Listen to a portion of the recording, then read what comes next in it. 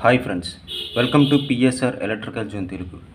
మన ప్రీవియస్ వీడియోలో JLM syllabus సంబంధించి ఫండమెంటల్స్ ఆఫ్ ఏసీలో ఏసీ సప్లై అయినటువంటిది ప్యూర్ ఆర్కి మరియు ఎల్కి మరియు సికి ఇస్తే ఏ విధంగా కాంపోనెంట్ బిహేవ్ చేస్తుంది అక్కడ ఆ సర్క్యూట్లో వోల్టేజ్ కానీ కరెంట్ కానీ ఏ విధంగా ఫామ్ అవుతుంది అనే విషయం గురించి ఈ ప్రీవియస్ వీడియోలో డిస్కస్ చేసాము సో అది ఈ కాన్సెప్ట్. ఆ వీడియో ఎవరైతే చూడనట్లయితే మన ఇక్కడ ఐకార్డ్స్లో ఉంచుతున్నాం ముందు ఆ వీడియో చూడండి. సో ఈ వీడియోలో మనం సో ఆర్ఎల్సి మూడు కంబైన్డ్గా ఉన్నటువంటి సర్క్యూట్కి ఏసీ సప్లై ఇస్తే ఆ సర్క్యూట్ ఎలా బిహేవ్ చేస్తుంది అక్కడ వోల్టేజ్ ఏ విధంగా ఉంటుంది కరెంట్ ఏ విధంగా ఉంటుంది. సో ఆ విషయం గురించి ఈ వీడియోలో డిస్కస్ చేద్దాము. దాంతోపాటుగా ప్రాబ్లమ్స్ కూడా ఈ వీడియోలో చేయడం జరుగుతుంది. సో ఫ్రెండ్స్ ఎవరైనా మన ఛానల్కి మొదటిసారి వచ్చినట్లయితే తప్పకుండా సబ్స్క్రైబ్ చేసుకోండి ఫ్రెండ్స్. అదేవిధంగా మీ ఫ్రెండ్స్ అందరికీ షేర్ చేయండి. చాలా విధంగా ఈ వీడియో కనుక నచ్చినట్లయితే లైక్ చేయడం మాత్రం మర్చిపోకండి. ఫ్రెండ్స్ లైక్ చేయడం వల్ల మన వీడియో అనేటువంటిది మరింత మందికి యూట్యూబ్ సజెస్ట్ చేయడం జరుగుతుంది. సో ఫ్రెండ్స్ ఇంక లేట్ చేయకుండా వీడియోని స్టార్ట్ చేద్దాం. సో మన ప్రీవియస్ వీడియోలో సింగిల్గా ఇండివిజువల్ కాంపోనెంట్స్గా ఆర్కి ఇచ్చేటప్పుడు ఏ విధంగా ఉంటుంది ఎల్కి ఇచ్చేటప్పుడు ఏ విధంగా ఉంటుంది సికి ఇచ్చేటప్పుడు ఏ విధంగా ఉంటుంది అనే విషయం గురించి డిస్కస్ చేసాం. ఈ వీడియోలో కంబైన్డ్గా అనమాట ఆర్ఎల్ ఉండేటువంటి ఆర్ఎల్కి ఇస్తే ఎలా ఉంటుంది ఆర్సీకి ఇస్తే ఎలా ఉంటుంది అనే విషయం గురించి ఈ వీడియోలో డిస్కస్ చేద్దాము. సో ఇక్కడ మనం ఫస్ట్గా AC supply through series RR circuit అంటే ఇవి మనం సర్క్యూట్ని సిరీస్లో కనెక్ట్ చేసుకోవాలి. ఆర్ అండ్ ఎల్ సిరీస్లో ఉండేటప్పుడు. సో అక్కడ ఏ విధంగా మనకి వోల్టేజ్ కానీ కరెంట్ కానీ పవర్ ఫ్యాక్టర్ కానీ బిహేవ్ చేస్తుంది అనే విషయం గురించి ఈ వీడియోలో డిస్కస్ చేద్దాం. సో ముందుగా మనం ఒక సర్క్యూట్ తీసుకుని ఆర్ఎల్ సిరీస్లో కనెక్ట్ చేసుకుందాం. వి అనే వోల్టేజ్ అప్లై చేసాం. ఇక్కడ ఐ అనే కరెంట్ ఫ్లో అవుతుంది అనుకుందాము. సో ఇక్కడ ఆర్ ఎల్ ఆర్కి అక్రాస్గా విఆర్ వోల్టేజ్ డ్రాప్ అనుకుందాం. ఎల్కి అక్రాస్గా విఎల్ వోల్టేజ్ డ్రాప్ అనుకుందాము. సో మనకి ఇది లూప్ కాబట్టి లూప్కి మనము ఒక కేవీఎల్ అప్లై చేసినట్లయితే కేవీఎల్ని అప్లై చేయొచ్చు. అలాగే చేసిన ఈ ఈ రెండు ఫార్ములాస్ వస్తాయి. లేదంటే మామూలుగా ఇండివిజువల్గా మనం చేసుకున్నట్లయితే ఆర్కి అక్రాస్ ఉన్న వోల్టేజ్ ఇందులో ఐ కరెంట్ ఫ్లో అవుతుంది కాబట్టి ఈ లూప్ మొత్తంలోనే. సో దీనికి అక్రాస్ ఉన్న వోల్టేజ్ అనేటువంటి విఆర్ అనుకున్నాం అప్పుడు. విఆర్ అంటే ఏమిటి? I into R. According to ఓమ్స్ల ప్రకారం ఇక్కడ drop I into R. So అదేవిధంగా ఇక్కడ డ్రాప్ వచ్చేసరికి ఐ ఇంటూ ఎక్స్ఎల్ ఇండక్టర్లో మనం చెప్పుకున్నాం ఏంటంటే ముందు వీడియోలో ఇండక్టెన్స్ రియాక్టెన్స్కి వచ్చేసరికి ఎక్స్ఎల్ అనేటువంటిది మనం చెప్పుకుంటాం. సో విఎల్ ఇక్కడ డ్రాప్ వచ్చేసరికి ఐ ఇంటూ ఎల్ ప్లేస్లో ఎక్స్ఎల్ వస్తుంది అనమాట VL is equal I into XL so ఎప్పుడూ కూడా రెసిస్టర్కి సర్క్యూట్కి వోల్టేజ్ అనేటువంటిది కరెంట్కి ఇన్ఫేస్లో ఉంటుంది. రెసిస్టెన్స్లో వోల్టేజ్ అండ్ కరెంట్ ఇన్ఫేస్లో ఉంటాయి. సో అది ఇక్కడ రాసుకున్నాము. రెసిస్టెన్స్కి అక్రాస్ ఉన్న voltage in phase with I so ఇక్కడ డ్రాప్ అవుతున్న వోల్టేజ్ ఇక్కడ మన కామన్ పారామీటర్ ఐఏ అందుకు ఐని తీసుకున్నాము. ఎందుకంటే ఇక్కడ కరెంట్ సేమ్ ఉంటుంది ఇక్కడ కరెంట్ సేమ్ ఉంటుంది. కానీ వోల్టేజ్ డిఫరెంట్గా ఉంటుంది. ఎందుకంటే ఈ కాంపోనెంట్ వేరు ఈ కాంపోనెంట్ వేరు. సో ఈ రెండు డిఫరెంట్ ఎలిమెంట్లు కాబట్టి సో ఇక్కడ కామన్గా కరెంట్ కామన్ ఎందుకంటే ఇది లూప్లో కరెంట్ కామన్ కాబట్టి ఈ కరెంటు ఈ వోల్టేజ్ దగ్గర ఏ విధంగా బిహేవ్ చేస్తుందని తీసుకున్నాం. మనం ఒక వెక్టార్ డయాగ్రామ్ తీసుకున్నట్లయితే ఐ కామన్ కాబట్టి ఇక్కడ ఐ అనేటువంటిది కామన్గా తీసుకున్నాం ఇది రెఫరెన్స్ లైన్ కింద తీసుకున్నాము. సో ఇక్కడ వోల్టేజ్ రెసిస్టెంట్కి అక్రాస్ ఉన్న voltage V R in phase with I A ఎప్పుడు కూడా రెసిస్టెన్స్ ఎలిమెంట్లో ఆర్ అనేటువంటిది ఆర్కి వోల్టేజ్ అనేటువంటిది కరెంటు రెండు ఇన్ ఫేస్లో ఉంటాయి. అంటే ఈ రెసిస్టెన్స్లో వేవ్ ఫామ్ తీసుకున్నట్లయితే ఇది వోల్టేజ్ మన ప్రీవియస్ వీడియో చూసుకున్నాం ఇది వోల్టేజ్ అయితే ఇదే రెసిస్టెన్స్కి అయితే కరెంట్ కూడా సేమ్ అక్కడే స్టార్ట్ అవ్వడం జరుగుతుంది. ఇక్కడ ఈ రెండు ఇన్ ఫేస్లో ఉన్నాయంట మనం. So in phase with I VR అంచెలో విఆర్లో కరెంటు మరియు వోల్టేజ్ అనేటువంటి ఇన్ ఫేస్లో ఉంటాయి. సో అప్పుడు ఎలా తీసుకుంటాము ఐ అనేటువంటిది రిఫరెన్స్ తీసుకున్నాము. విఆర్ అనేటువంటిది సో అదే లైన్ పైన ఎందుకంటే there is no angle difference అనమాట ఇక్కడ ఎటువంటి ఎలక్ట్రికల్ యాంగిల్ డిఫరెన్స్ లేదు కాబట్టి. సో ఇది కూడా ఇదే లైన్లో మనం గీయడం జరిగింది. రెసిస్టెన్స్కి కరెంటు ఇన్ ఫేస్లో ఉంటుంది. అది సింపుల్గా గుర్తుపెట్టుకోండి. నెక్స్ట్ ఇక్కడ ఇండక్టర్ ఇది ఎక్సెల్ మనం ఇండివిజువల్గా చెప్పుకున్నప్పుడు ఏం చెప్పాను? ఇండక్టెన్స్ ఆల్వేస్ ఇండక్టర్లో ఫ్లో అవుతున్న కరెంట్ అన్నటువంటిది వోల్టేజ్కి ఆల్వేస్ ల్యాగింగ్లో ఉంటుంది అనమాట ఇక్కడ ఏముంది? VL leads the ninety degrees అయ్యి అంటే కరెంట్ కంటే వోల్టేజ్ నైంటీ డిగ్రీ లీడింగ్లో ఉంటుంది. లేదా కరెంటు నైంటీ డిగ్రీస్ ల్యాగింగ్లో ఉంటుంది. అలాగే చెప్పొచ్చు. సో ఇది కరెంట్ తీసుకున్నాం కాబట్టి ఇక్కడ విఆర్ ఆల్రెడీ వోల్టేజ్ వచ్చింది. సో ఈ వోల్టేజ్ అంటే సమ్మ కదా. వి అంటే VR plus VL so VR అనేటువంటి ఇన్ఫేస్లో ఉంటుంది విఎల్ అనేటువంటి ఉంటుంది నైంటీ డిగ్రీస్లో ఉంటుంది. సో ఇక్కడ నుంచి ఇది నైంటీ డిగ్రీస్లో తీసుకున్నాం సో ఈ నైంటీ డిగ్రీస్ తీసుకున్నాక ఇది మ్యాగ్నిట్యూడ్ ఎంతో కొంత క్వాంటిటీ వేసుకుంటాము. సో ఇంత లెంత్ తీసుకుని విఎల్ అనేటువంటి తీసుకున్నాం సో ఈ రెండింటికి మనము ఈ రెండు లైన్లు ఇలా కలిపినట్లయితే మనం ఒక ట్రయాంగిల్ అనేటువంటిది ఫామ్ అయింది. సో ఇక్కడ ఇది టోటల్ సమ్ అంటే ఇది ప్లస్ ఇది కలిపి వి అనేటువంటి మనం అప్లై చేసిన వోల్టేజ్ అనమాట ఇక్కడ రెసిస్టెన్స్లో ఫ్లో అవుతున్నటువంటి వోల్టేజ్ అనేటువంటిది ఎక్రాస్ ఉన్న వోల్టేజ్ ఇన్ ఫేస్లో ఉంటుంది కరెంట్కి అదే ఇండక్టర్లో ఫ్లో అవుతున్న కరెంట్ అనే వోల్టేజ్ అనేటువంటిది ఆ కరెంట్కి నైంటీ డిగ్రీస్ లీడింగ్లో ఉంటుంది. వోల్టేజ్ లీడింగ్లో ఉంటుంది కరెంట్ లాగింగ్లో ఉంటుంది. సో రిఫరెన్స్ మన ఫైనల్ వోల్టేజ్ వి ఇది వి అనుకుందాం. ఇక్కడ అకార్డింగ్ టు పైథాగర సిద్ధాంత ప్రకారం కర్ణము స్క్వేర్ ఇది కర్ణం అనుకుంటే ఇది ఒక భుజం ఇది ఒక భుజం కర్ణము స్క్వేర్ ఈజ్ ఈక్వల్ టు భుజము స్క్వేర్ ప్లస్ భుజం VR square plus VR square so ఇంకా ఇదంతా డెరివేషన్ మీకు ఎక్స్ప్లెయిన్ చేయాల్సిన అవసరం లేదనుకుంటా. వి ఈజ్ ఈక్వల్ టు ఈ స్క్వేర్ ఇటు వస్తే రూట్ అవుతుంది. V is equal root over VR అంటే ఐఆర్ అంటే ఆర్ స్క్వేర్ విఎల్ అంటే I into XL square so ఇదంతా చేసుకుంటే V is equal I into R X square ఫైనల్గా I is equal to V by root over R square plus XL square అని వచ్చింది. So ఈ I is equal V by R మనకి according to ఓమ్స్లో ప్రకారం I is equal V by R so R ప్లేస్లో ఇక్కడ impedance Z అంటాం అనమాట సో ఈ జెడ్ ప్లేస్లో ఇది వేస్తాము R L plus X L square Z is equal root over R S square plus X L I is equal V by Z so ఇది మనం గుర్తుపెట్టుకోవాలి.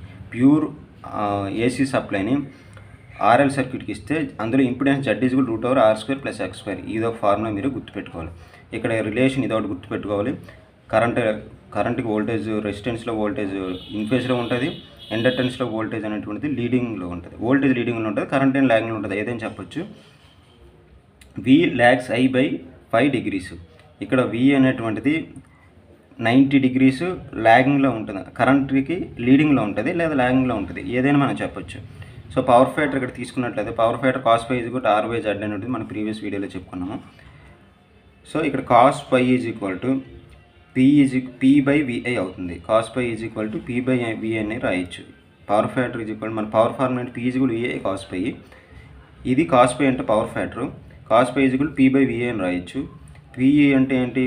విఐ కాస్ పై విఐకి విఐకి పోతే కాస్ పై మిగులుతుంది సో విఐ కాస్ పై అంటే KW true power V I అంటే apparent power so ఇలాగని రాయొచ్చు. ఇది జస్ట్ రిలేషన్ కోసం ఎక్స్ప్లెయిన్ చేసిన ఫార్ములాస్ ప్రాబ్లమ్స్లో ఏ విధంగా అడిగే ఛాన్స్ ఉండదు. ఇవి జస్ట్ గుర్తుపెట్టుకోవడానికి సో ఇది ఫ్రెండ్స్ సిరీస్ ఆర్ఎల్ సర్క్యూట్లో ఇస్తే ఈ విధంగా మనకి బిహేవ్ చేస్తుంది. ఇక్కడ గుర్తుపెట్టుకోవాల్సిన పాయింట్లు ఇక్కడ మనకి ఈ యాంగిల్ డిఫరెన్స్ ఎంత ఉంటుంది విఆర్ ఎలా ఉంటుంది విఎల్ ఎలా ఉంటుంది ఇంపిడెన్స్ ఫార్ములా ఏంటి పవర్ ఫ్యాట్ ఫార్ములా ఏంటి ఇవి గుర్తుపెట్టుకుంటే మీరు ఏ ప్రాబ్లం ఇచ్చినా చేయగలరు.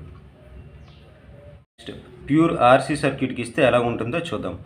ఆర్సీ సర్క్యూట్ అంటే ఇక్కడ ఆర్సీ అనేటువంటి సిరీస్లో తీసుకున్నాము. ఇక్కడ విఆర్ఐ డ్రాప్ ఇక్కడ వీసీ డ్రాప్ ఇందులో ఫ్లో అవుతున్న కరెంట్ అయ్యి అనుకున్నాము. ఇక్కడ V is equal to VM sine omega t అనుకుందాం. ఏసీ సప్లై సో ఇక్కడ సేమ్ ఇందులో కూడా కరెంట్ అనేటువంటిది సేమ్ రిఫరెన్సే తీసుకుందాము. ఇందులో కరెంట్ అనేటువంటి కామన్గా ఉంటుంది కాబట్టి. సో ఇక్కడ కరెంట్ కామన్గా ఉంటుంది కాబట్టి ఇక్కడ ఇందులో వోల్టేజ్ రెసిస్టెంట్కి అక్రాసిన వోల్టేజ్ విఆర్ అని తీసుకుందాము. ఇందులో కెపాసిటెన్స్లో మనం ముందు ఏం చెప్పుకున్నాము? మన ప్రీవియస్ వీడియోలో కెపాసిటర్కి ఎక్రాసుకుంటే వోల్టేజ్ అనేటువంటిది కరెంట్కి ల్యాగింగ్లో ఉంటుంది. సో అందుకే ఈ కరెంట్ అనుకుంటే ఇది ఇది కరెంట్ కామన్ తీసుకున్నాం కాబట్టి ఈ వెక్టర్ అనేటువంటిది ల్యాగింగ్లో ఉంటుంది. కరెంట్ కంటే నైంటీ డిగ్రీస్ డిలీలో డిలేలో స్టార్ట్ అవుతుంది వోల్టేజ్ అన్నట్టు. అందుకు ఇది విఆర్ ఇది వీసీ ఇలా తీసుకున్నాం. సో ఇది ఫైనల్గా రిజల్టెంట్ వి ఇలా గీసినట్లయితే V is root over VC square plus VR square same ఇక్కడ రిలేషన్ ప్రకారం ఇక్కడ ఎలా చేసుకుంటే ఇక్కడ Z is equal to root over R square plus X square అంటే వస్తుంది. ఇక్కడ Z is equal root over R square plus XL వస్తే ఇక్కడ ఎక్స్ స్క్వేర్ సో ఈ ఫార్ములాస్ మీరు గుర్తుపెట్టుకోండి. కెపాసిటెన్స్ వస్తే సి ఎక్సీ వస్తుంది ఇండక్టెన్స్ వస్తే ఎక్స్ఎల్ వస్తుంది. ఇక్కడ power phi is equal to same R by Z ఇక్కడ మీరు గుర్తుపెట్టుకోవాల్సిన ఈ రెండు రిలేషన్లు. కరెంట్కి రెసిస్టెన్స్కి అక్రాస్ ఉన్న వోల్టేజ్ ఇన్ ఉంటుంది. అదే కరెంట్కి కెపాసిటెన్స్కి అక్రాస్ ఉన్న వోల్టేజ్ అనేటువంటిది ల్యాగింగ్లో ఉంటుంది. సో ఈ వేవ్ ఫామ్ గీసినట్లయితే ఇక్కడ మీకు సింపుల్ గుర్తుపెట్టుకుని ఉంటే వేవ్ ఫామ్ సో ఫస్ట్గా ఇనీషియల్గా కరెంట్ స్టార్ట్ అయింది అనుకోండి కెపాసిటెన్స్కి ఇది ఇది అయ్యి అనుకుంటే వీసీ ఎక్కడ స్టార్ట్ ఉంది నైంటీ డిగ్రీస్ డిలేలో స్టార్ట్ ఉంది. ఇది వీసీ ఇది వోల్టేజ్ వీసీ కానీ రెసిస్టెన్స్ మాత్రం ఇక్కడ స్టార్ట్ ఉంది. ఇది విఆర్ ఇది విఆర్ వే ఫార్మ్స్ ప్రకారం తీసుకుంటే ఈ విధంగా ఉంటుంది.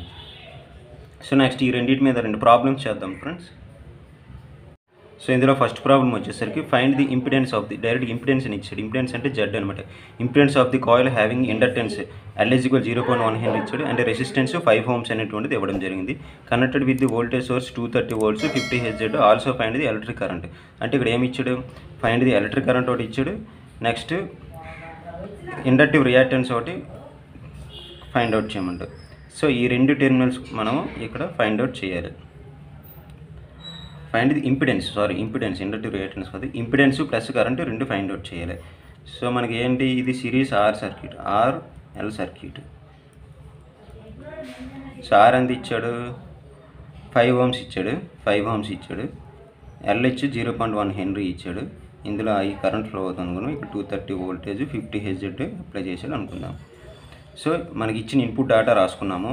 మన ఫార్ములా ఏంటి? First impedance find out impedance Z equal ఏంటి? Root over R square plus XL square. First XL find వచ్చాడు ఎక్సెల్ ఫార్ములా ఏంటి? Two pi FL. So XL two pi F fifty Hz L అంటే zero point one henry ఇచ్చాడు. So XL is equal to thirty one point four ohms వస్తుంది ఈ ఈ multiplication చేస్తే. Z is equal form ఏంటో అనుకున్న root over R square plus XL square. Root over R square అంటే five square plus thirty one point four whole square. వేస్తే Z is equal thirty one point eight అనేది రావడం జరుగుతుంది. So ఇందులో I is equal ఏంటి? ఇక్కడ R అంటాడు. I is equal to V by Z ఇక్కడ అకార్డింగ్ ఓన్స్ లా ప్రకారం వి ఈజ్ ఆర్ ప్లేస్లో జడ్ వేసుకుంటాం. So V two thirty by Z thirty one point eight so ఇది ఫార్ములా ఫైనల్గా seven point double two three amps అనేటువంటిది వచ్చింది.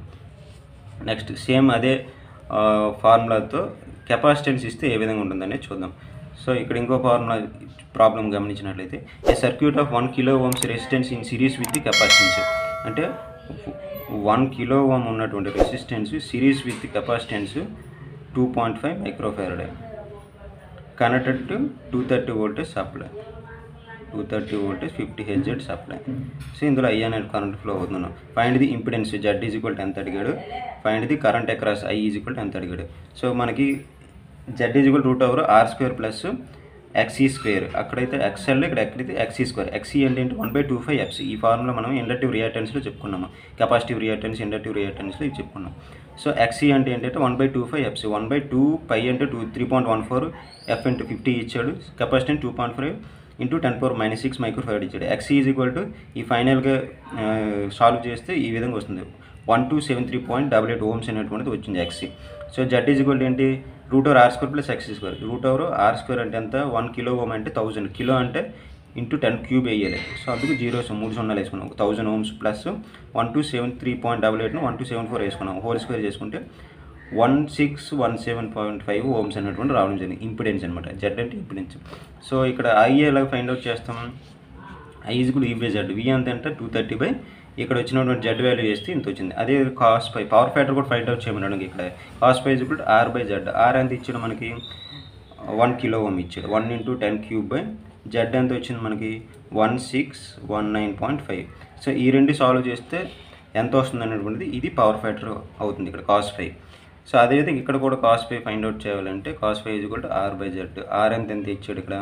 Five ohms ఇచ్చాడు. By Z ఎంత వచ్చింది మనకి? Thirty one point eight so ఈ విధంగా మనము ఈ ఇలాంటి ఫార్ములాస్ ఇస్తే ఈ రిలేషన్ యూజ్ చేసి ఏ ఫార్మ్ ప్రాబ్లం ఇచ్చినా మనం చేయగలము. సో ఫ్రెండ్స్ ఇది ఫ్రెండ్స్ ఈ వీడియో. ఈ వీడియో కనుక మీకు నచ్చినట్లయితే లైక్ చేయండి. అలాగే అదేవిధంగా ఈ వీడియో ఇంకేమైనా డౌట్స్ ఉంటే కింద కామెంట్ సెక్షన్లో తెలియజేయండి. అదేవిధంగా మన ఛానల్ని సబ్స్క్రైబ్ ఇంతవరకు ఎవరైనా మొదటిసారి వచ్చినట్లయితే సబ్స్క్రైబ్ చేసుకోండి ఫ్రెండ్స్. సో తప్పకుండా లైక్ చేయడం మాత్రం మర్చిపోకండి. Thanks for watching.